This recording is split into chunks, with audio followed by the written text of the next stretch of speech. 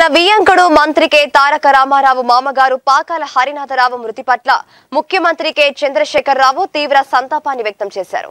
హైదరాబాద్లోని రాయదుర్గం వద్ద గల వారి నివాసానికి వెళ్ళి దివంగత హరినాథరావు భౌతిక కాయానికి సీఎం నివాళులర్పించారు. తండ్రిని పోగొట్టుకున్న దుఃఖంతో ఉన్న తమ కోడలు శైలిమను శోకతప్తులైన కుటుంబ సభ్యులను ముఖ్యమంత్రి దంపతులు ఓదార్చారు.